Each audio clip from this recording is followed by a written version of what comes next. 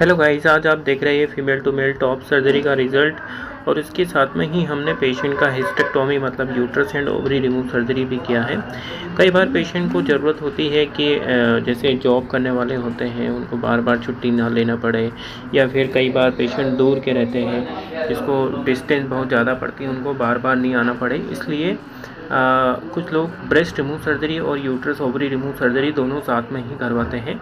ये सर्जरी में दो दिनों तक का हॉस्पिटल स्टे होता है और तीसरे दिन हम हॉस्पिटल से डिस्चार्ज कर देते हैं। सर्जरी होने से पहले कुछ ब्लड इन्वेस्टिगेशन और सोनोग्राफी करना होता है।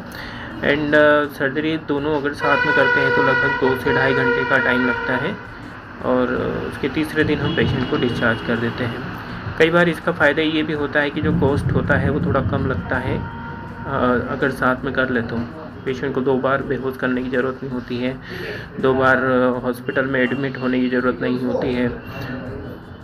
और पेन भी अगर थोड़ा बहुत होता है तो वो दो बार महसूस नहीं करना पड़ता है। इस वजह से कुछ लोग दोनों सर्जरी साथ में कराते हैं। जिनका आप रिज़ल्ट देख रहे हैं, इनका सर्जरी लगभग पंद्रह दिन पहले हुआ था। अभी हम स्टिचेस रिमूव कर रहे हैं।